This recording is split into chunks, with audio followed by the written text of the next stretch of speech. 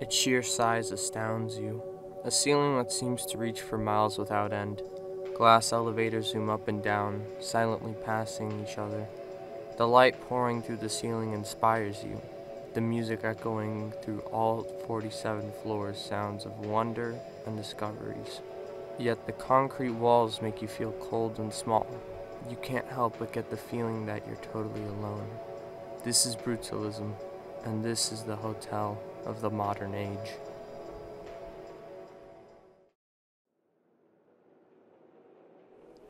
Released on Bandcamp on February 10th, 2018 by artist Hallmark87, Atrium is a dark and droning ambient mall soft album.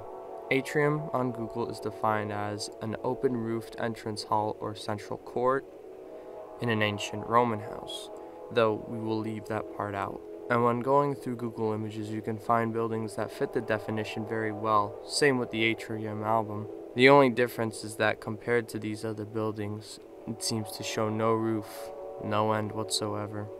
The album cover is a real location, which is the Marriott Marquis in Atlanta, Georgia, which as well fits the atrium description, which shows just how strikingly beautiful and elegant these locations can be, but with the album, it kills that lively image. Atrium expands for so long, somewhat fitting the image of a purgatory.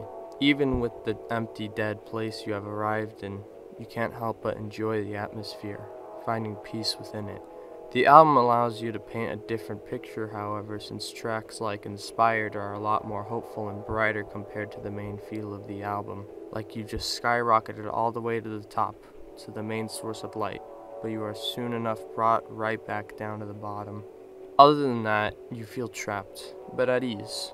And I think it is because of this we can now move on to the younger sibling of Atrium, Academy.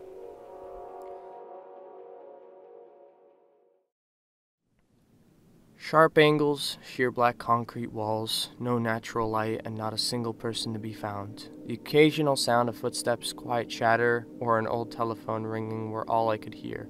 It was the scene of what seemed like a dystopian horror film, but instead it felt calm and inspiring, like somewhere beyond those atrium walls. In classrooms and laboratories, breakthrough discoveries were being made. And so I stayed for hours, just taking in all the sights and ethereal reverberated sounds. But as the day came to an end, the academy transformed. Everything was fading to black. As the last bell rang, it seemed as though I was the only person left. All the students and professors had left their labs, and I was stuck in a dark atrium with no way out.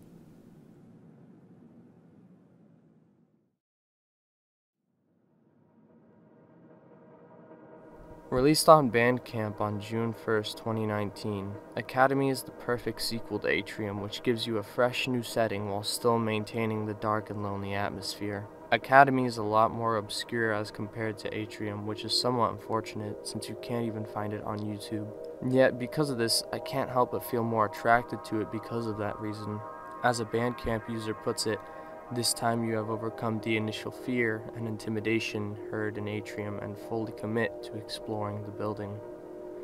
The Academy stretches on for just as long as the Atrium did, but there is more to find here, more to explore, much more has happened at the Academy, and whether or not it shows itself then and there, its past remains in the aura of the building, which can be backed by several short interlude tracks such as Digibel and Scale, representing life and discovery that it once had.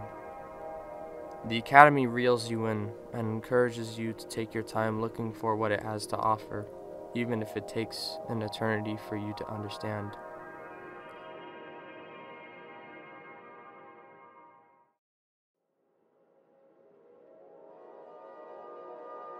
This terrifyingly beautiful duo put you in such an eerie yet calm setting that you can't help but seek the beauty out of. The album covers have a low resolution and an intimidating display for what you can see, perfectly representing how the albums feel from a certain standpoint. You get the best view yet you can't help but not understand what is beyond the art.